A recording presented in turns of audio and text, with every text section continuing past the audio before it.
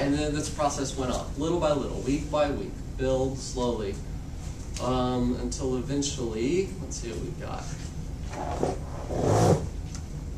Uh, just to show you a little bit of the process.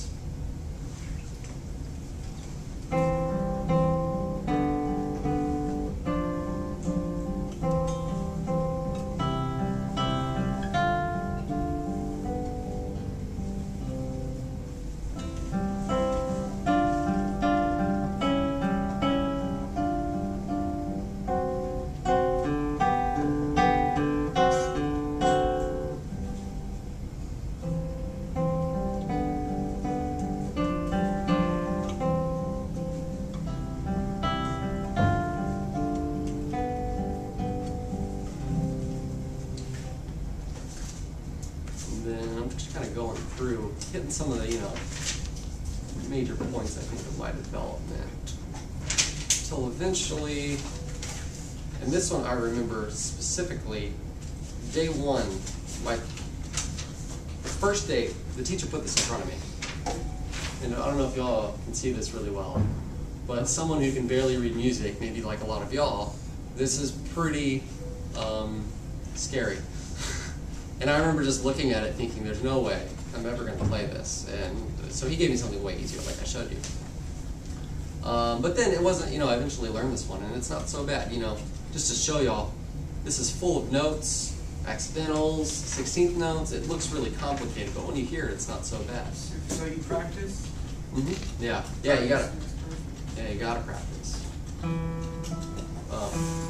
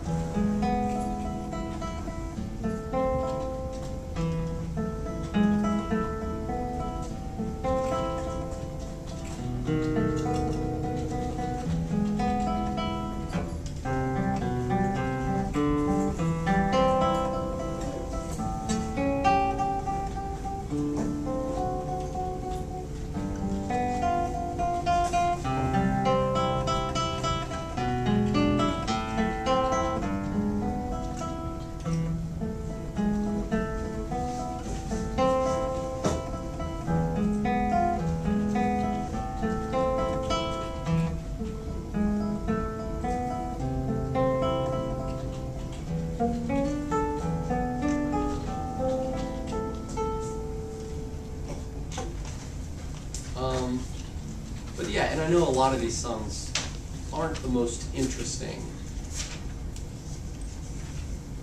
I just chose these because they were some of them I specifically remember, and they're most of them they're right out of this book. Um, it's not always the case for people. It typically, how lessons work is it's a very personal thing. You know, you say, uh, I'm interested in this type of music, or um, I heard this the other day and I really want to learn it and I think I'm ready. And the teacher says, well, I think you are too. Or maybe the teacher says, you know, that's a great song, uh, but maybe another week, maybe another day. Um, so it's part of the, the instructor's role to kind of guide the student, make sure they don't run into something they're not ready for. And this is in general for all lessons. Uh, but for me, let's see, a couple more for those beginning ones. This is a nice one.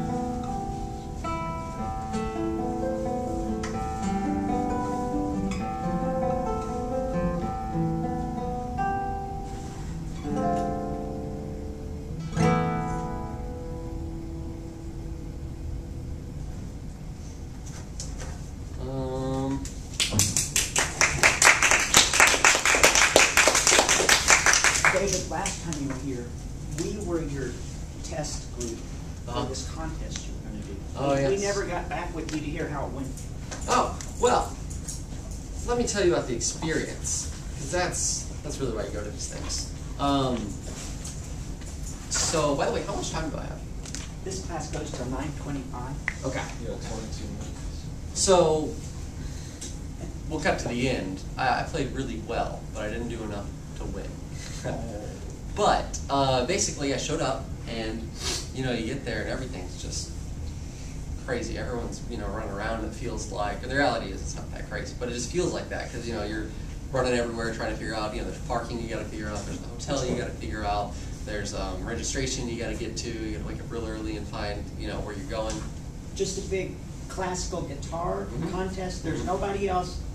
Yeah, it's it, well, it's on the the because this was at the A and M Tex, uh, Texas A and M uh, College Station campus.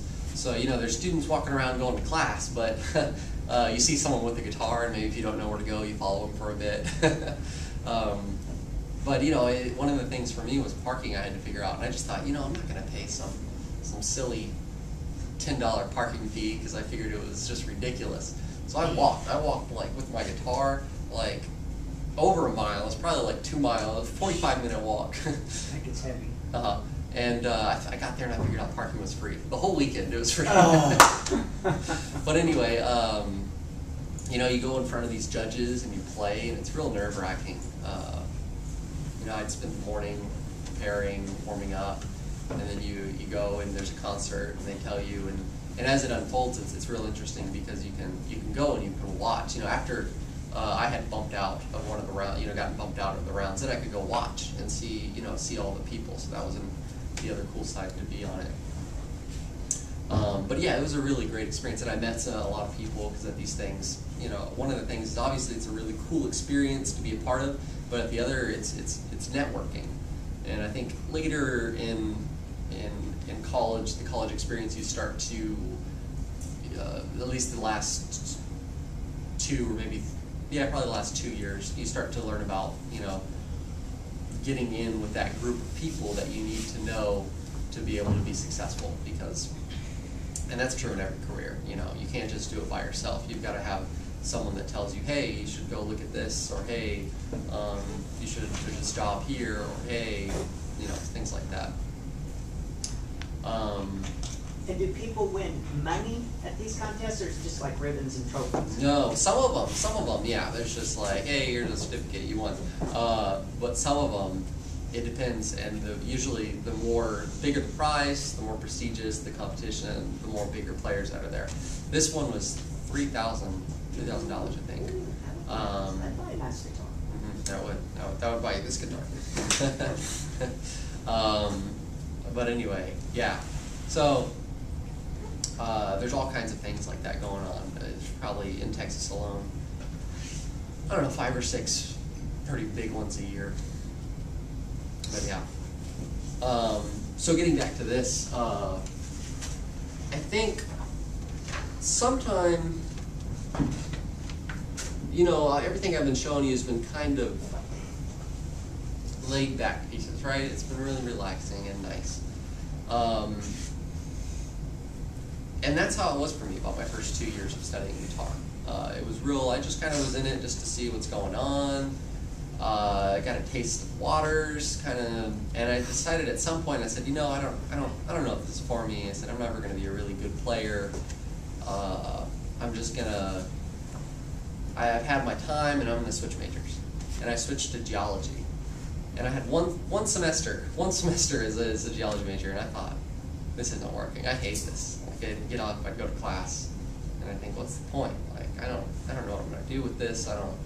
And I, I, I liked what I was doing before. I think I had a good thing going. What was going on? So I decided in that time. I said, uh, I I don't know what I'm going to do or how I'm going to do it, but I know that I'm going to practice a lot, and then I'm going to I'm going to become a, a decent guitarist, and that's my plan. So I really bumped up my practicing regimen, and I think this year was one of the first pieces I started with. It's called a I don't think I played it last time. It's called Asturias. I'm going to play y'all part of it. One, not the whole thing because I, I don't remember the whole thing. It's like a six minute piece. Two, not the whole thing because the middle section can kind of drag on.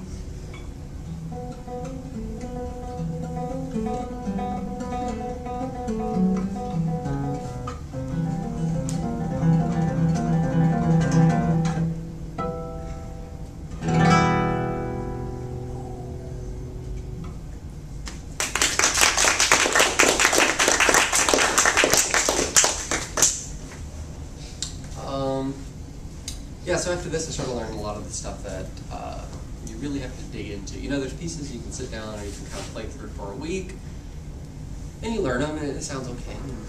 Uh, they're nice. Uh, and then there's, I think, at some point in your learning process, you know, it can be years that you can say, you know what, I'm gonna, I'm gonna really buckle in. I'm gonna take this piece and I'm going to make it my night. It's going to be my day. It's going to be my breakfast. It's going to be my dinner. It's going to be every part of, of me. And I think after a while, you actually start to enjoy the process. it becomes a part of your life. It becomes, and then you get sick of the piece and you never want to listen to it again, and then you move on. But uh, it's it's a really great learning process. I remember practicing this thing as a copy of my music, so it's got all uh, things over it. I remember practicing it at bus stops. I remember practicing practicing it in hallways. I remember practicing it, you know, just in my room. People hated that I was playing this thing over and over and over, and it just got on their nerves, and eventually mine. And now I can play it again. We've reconciled, but um, it was a really great process. And there's been, you know, dozens of other pieces like this that have challenged me um, as a player, as a person. you know, my own limits, uh, my own limits of what I can stand to to put up with on a daily basis. Um, but yeah, much more time? We still got plenty of time, don't we? All right, you get a question? Do they have written, it, like, do they have, some of the pieces I've written in harmonics, like, Like do this? is there like a certain symbol, yeah? Yeah, there's a symbol for it. You know, this this is such a played piece. I don't think that's actually in the music. This was originally written for piano uh, by uh, Isaac Albéniz, uh, and it was transcribed by the guitarist Andre Segovia. We've heard of Segovia. Have we heard of Segovia? No. Who's not familiar with Segovia? He's in our book, but Oh. we didn't test them on Segovia. Oh yeah, yeah. So Segovia, I want to talk about Segovia. Segovia, uh, he, he was he was an emerging guitarist, I think in like the 1930s or something, probably earlier too. Uh, but he, he really hit his stride in like the 50s. A lot of what we have for classical guitar we owe to him. Um, he basically came along and said, you know, guitar wasn't what it was when he was, you know, learning it. Uh, is kind of more of this folkish instrument, uh, kind of more like an, uh, an acoustic guitar. Um, you know, because we talk about the difference between a classical and acoustic guitar. You know, acoustic guitar, it's kind of like this background noise, and you wouldn't hardly ever, occasionally you see it nowadays, but you hardly ever see an acoustic guitarist on stage alone by themselves just playing. You know, that's more of a classical guitar thing. But when uh, Segovia was learning, it was a, it, it, wasn't as a respected thing as uh, it, it is today. Um, so he really uh, put it in its place now. But anyway, that's Segovia. That's not why I'm here. uh, any other questions about this whole thing? You want to hear another song? Yeah. Yeah. I want to play another one. This one, uh, I learned a bit earlier, but took me a long time to finish uh, it's one of those pieces you start and you're like, this is a great piece, and you learn the beginning, and you're like, yeah, and then you get to the, that part that you can't really play, and you're like, I'm gonna put this away and learn another day. I'm sure y'all hopefully experience that. Okay, this is called a classical gas.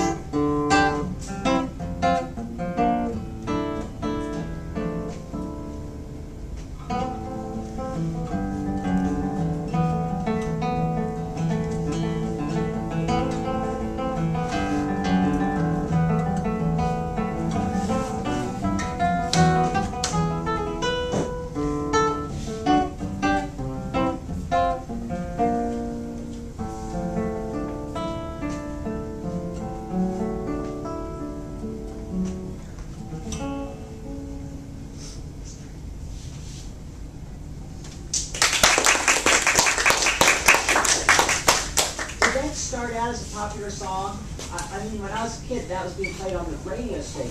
Yeah, that I think is one of those things. You know, it's funny we just talked about Segovia because I, I think that was really the sign of his impact on uh, society. Uh, that one person who made a difference. Because today, hearing that on a pop, you know, on the radio and on, on a top chip, top, top charts, top hit charts, whatever.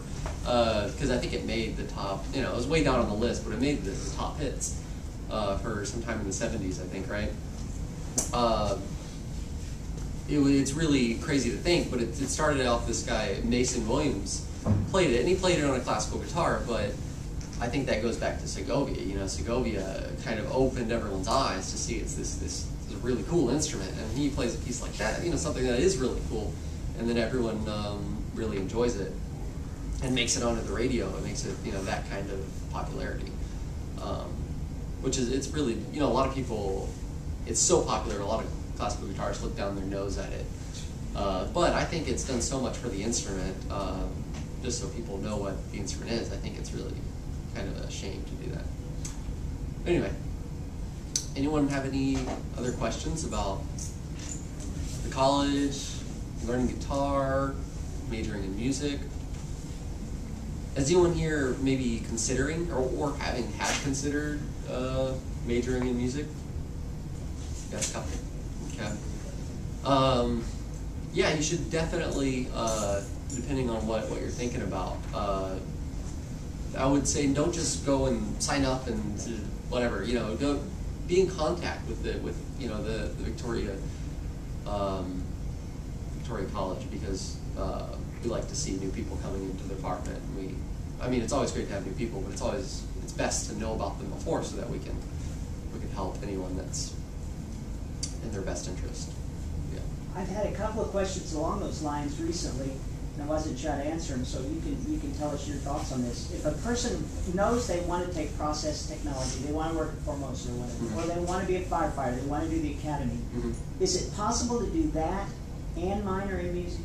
Oh yeah, yeah. You can always have a, a minor, and uh, it just depends. You know, some minors work really well. Like you know, you can like, say you have your major, and then you have a minor, and sometimes they overlap. So you you know, it's really oh, if you take these three extra courses, you can have a, a whole other part of a degree, um, and it works really well. Now some people are just really like you know music. It's like I want to know a lot about music, so it's you can still get some overlapping because every degree requires what we call electives, and electives are anything that the college gives where it's just like, hey, this is um, the college is teaching this course. It is good information, and um, in in any part of your at some point in your life, this would help you. So why don't you go ahead and have this as part of your degree? It just depends on your degree as to how many electives uh, you get, and yeah, Thank you. yeah. What What piece did you play for the contest? Oh, I played uh, pretty much what I played for y'all last time. You know, that was that was what I played. It was the the big stuff. I think uh, today I I'm I really don't have any of that stuff prepared because I haven't played it in a really long time. but uh, uh, but yeah, it was some really intense stuff, which I kind of feel. You know, I came in here and I was just playing this really heavy, thick classical stuff. Um, so it's kind of nice today, I think, for y'all to hear some of the lighter side of the instrument. You know. Well, and to see your journey, I love Yeah. that you started where you began on the guitar and you kind of showed us how it's just built and built and Yeah. built where you can do what you do. Those tracks are still on my YouTube channel, I think. Oh, really? So if anybody wants to go back and see some of those heavy songs Yeah. that David played the last time, you still can. Yeah. You know, I do want to say, I hear this a lot. You know, people, because, you know, I played at a wedding this weekend, and people, you know, I played just like this, and I think a lot of things people say is, wow, you know, you're such a talented players, what I hear a lot. And I, and I really appreciate the compliment. But the reality is, I think in any good musician, there's not a lot of talent involved. There's some talent, you know. You, you obviously need the ability to pick up the instrument and and uh, be able to kind of, you know. I've, but it's rare to see someone that I, I've ever. I've only seen maybe one or two people my whole life teaching, and I say, maybe this instrument's not for you. You know, it's an extremely rare thing. It, but almost anyone can pick up a, an instrument and play to whatever level you want. It just depends on your amount of dedication to your practice. Some people will learn faster than others and they don't need to practice as much. But if they had practiced more, then they'd be a lot further. Um, in my case, uh, I, I've practiced a lot, like a lot, a lot. And I think that's, that's the only thing I can give credit to, what I can do, my devotion. Yeah. How much time we got? We got like a minute? You guys need to. We have a couple guys who to. Okay.